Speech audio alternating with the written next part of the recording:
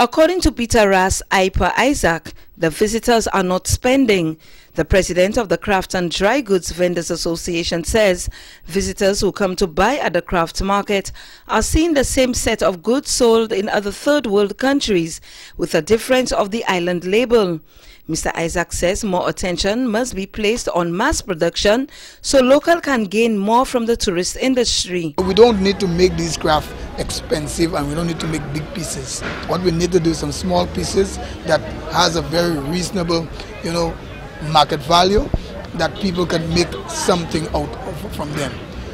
The, the, the, the goods we have now, they are not really permitting us to make any kind of money with because the tourists are saying that they have, they have seen it all.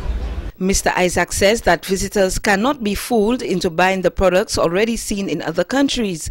He says also that producing on a large scale locally will create employment. Where you could have some kind of, um, these, when some of these factory shells you have here right now, convert them into some kind of big mass workshop where you could mass produce goods, bring in the young people on board, bring people to train them from even from these said countries where we are buying good getting goods from, maybe from Peru, from from from, from India, from, from China, bring people from these places there to train our young people to use some of the local products, local local material like the calabash, the coconut, uh, you know I mean, and, and, straws and so on, the clay, to, to convert these things into local products.